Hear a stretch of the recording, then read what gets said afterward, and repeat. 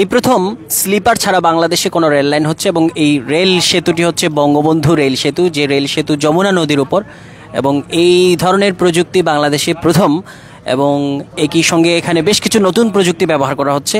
যমুনা নদীতে বঙ্গবন্ধু রেল সেতু, আলাদা একটি রেল সেতু করা হচ্ছে, যেখানে একটি স্প্যানের ভেতরে একই সময় দুটি ট্রেন চলতে পারবে ব্রড গেজ এবং মিটার গেজ মিলিয়ে। দর্শক, দেখছেন সরাসরি বাংলাদেশ টাইমসে। এবং কী ধরনের নতুন প্রযুক্তি এখানে ব্যবহার করা হয়েছে সেটা আমরা একটু জানব এখানে। কোন পাশে? প্রায় একচুল উনপঞ্চাশটি স্প্যান বসাতে হবে পঞ্চাশটি খুঁটিতে। যমুনা নদীতে বঙ্গবন্ধু সেতু দেখতে পাচ্ছেন বা পাশে এবং ডান পাশে। নতুন কি কি প্রযুক্তি আসলে এই রেল সেতুতে ব্যবহার করা হচ্ছে একটু যদি বলতেন। তারপর আপনি যে বলছিলেন যে স্লিপারলেস একটা রেল ব্রিজ এখানে নতুন প্রযুক্তি হচ্ছে এই যে প্রথমে বলি ফাউন্ডেশন ফাউন্ডেশন হচ্ছে আমরা বলি SPSP foundation steel pipe sheet foundation এটা এই ফাউন্ডেশনের বিশেষত্ব হচ্ছে আমরা যে কোনো যখন ফাউন্ডেশন করতে যাই আমাদের একটা কোফার জ্যাম করতে হয়। স্টিল দিয়ে কোফার জ্যাম করে ওইখান থেকে পানি বেল আউট করতে হয়।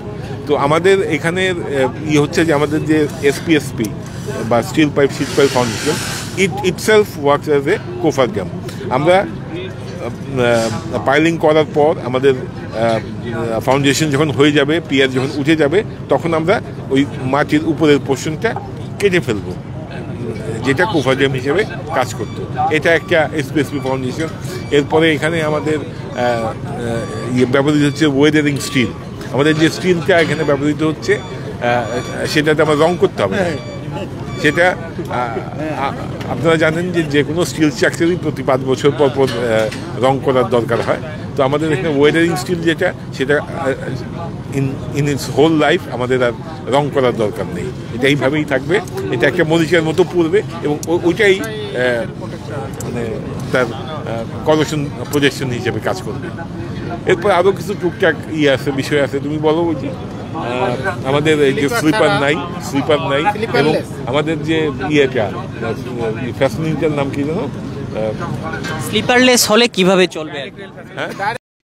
দেখছিলেন একজন রেলের কর্মকর্তা জানাচ্ছিলেন এই রেল সেতুর আপডেট এবং কতটুকু কাজ কাজ আসলে শেষ হয়েছে আমরা সেটাও জেনেছিলাম। ছেচল্লিশ ভাগ কাজ শেষ হয়েছে চার দশমিক আট কিলোমিটার এই রেল সেতু নির্মাণে। এবং এ পর্যন্ত ছয়টি স্প্যান বসানো হয়েছে।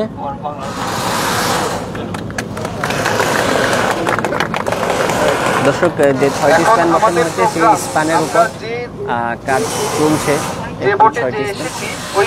উনপঞ্চাশটি স্প্যান লাগবে সব মিলিয়ে এবং পঞ্চাশটি খুঁটি এই বঙ্গবন্ধু রেল সেতুতে। উত্তরাঞ্চলের মানুষ যারা ট্রেনে যাতায়াত করেন তাদের কাছে এই সেতুটি খুবই গুরুত্বপূর্ণ কারণ তারা দুই পাশে এসে ঘণ্টার পর ঘণ্টা কখনো বসে থাকেন বা কখনো আধ ঘণ্টার বেশি ট্রেন দাঁড়িয়ে থাকতে হয় কারণ ট্রেন যে বঙ্গবন্ধু সেতু আছে, সেখানে যে ট্রেন লাইন আছে, সেটি কিন্তু একসঙ্গে দুইটা ট্রেন পার হতে পারে না। এখন নতুন যে রেল সেতু নির্মাণ হচ্ছে, সেখানে একসঙ্গে দুইটা ট্রেন একশো কিলোমিটার গতিবেগে চলতে পারবে এবং এই ট্রেন চার দশমিক আট কিলোমিটারের মতো লম্বা এই রেল সেতু দিয়ে প্রতিদিন আটাশিটি ট্রেন অর্থাৎ আশিটির বেশি ট্রেন সব মিলে চলতে পারবে। এবং দ্রুত সময়ে ট্রেন চলাচল হবে ট্রেন সংখ্যা বাড়ানো হবে, সব মিলে উত্তরাঞ্চলের সঙ্গে রাজধানী ঢাকার সময় দূরত্ব এবং সাশ্রয় হবে রেলপথে।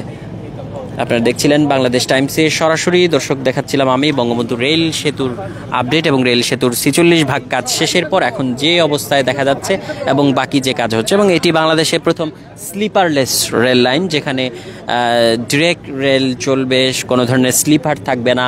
এই ধরনের প্রযুক্তি আসলে করা হচ্ছে। জাপানের দুটি ঠিকাদারি প্রতিষ্ঠান এখানে কাজ করছে, জাইকা ষোলো হাজার কোটি টাকা ব্যয় দেশে প্রথম এই ধরনের একটা রেল সেতু নির্মাণ করা হচ্ছে, যার দৈর্ঘ্য চার দশমিক আট কিলোমিটার, আর দুই হাজার চব্বিশ সালের শেষের দিকে এই সেতুটির নির্মাণ কাজ শেষ হবে। তখন এখানে দৈনিক ট্রেন সংখ্যা বাড়বে। এখন মাত্র আটত্রিশটি ট্রেন চলে এই যমুনা নদীর উপর বঙ্গবন্ধু সেতু দিয়ে। আমি Sabbir Ahmed lead mobile journalist Bangladesh Times জানাচ্ছিলাম। Bangabandhu rail সেতুর আপডেট যে রেল সেতুর কাজ এখন চলমান, ছেচল্লিশ ভাগ কাজ শেষ হয়েছে, এবং আমি দেখছি একটির পর একটি খুঁটি এখানে প্রস্তুত হয়ে আছে, যে খুঁটিগুলোতে মিয়ানমার এবং ভিয়েতনাম থেকে আনা স্প্যান বসিয়ে জোড়া দেওয়া হবে, জায়েন্ট দেওয়া হবে, তখন এখানে চার দশমিক আট কিলোমিটার রেল লাইন হবে।